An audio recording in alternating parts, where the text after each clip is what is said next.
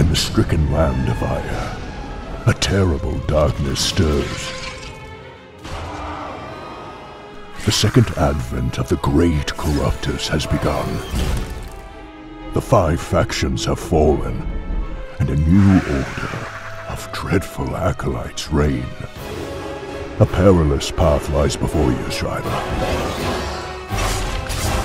One of desolation, of suffering, bloodshed. Adhere to your sacred duty once more. Slay the acolytes, the lords of Ire, and rend their flesh for all our sake.